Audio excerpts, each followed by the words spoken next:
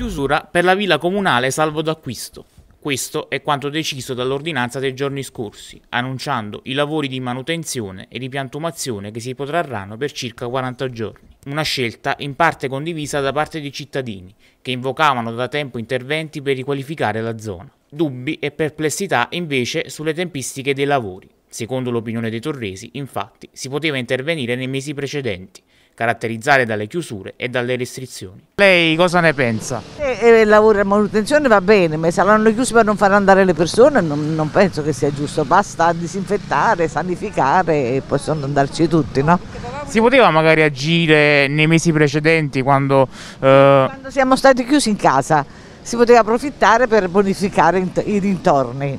Ci volevano diciamo, dei lavori di sistemazione, quindi cioè, per riqualificare la zona secondo me era necessario qualche lavoro di, di restauro insomma.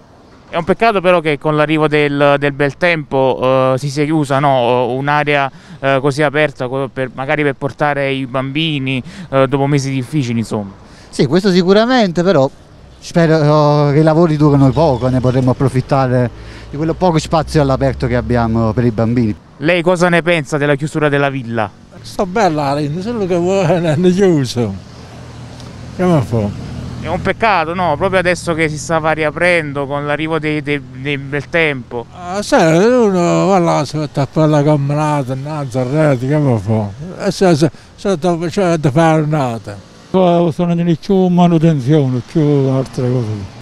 Anche se è un peccato, no? Che eh, si è chiusa la villa in arrivo del buon tempo abbiamo una cosa bella, però non ci a fare niente. È proprio in questi momenti che la gente aveva bisogno di un po' di libertà, i bambini che stanno chiusi da un anno e mezzo. Cioè, ma quale volontà l'ha partorita, l'ha partorita sta cosa?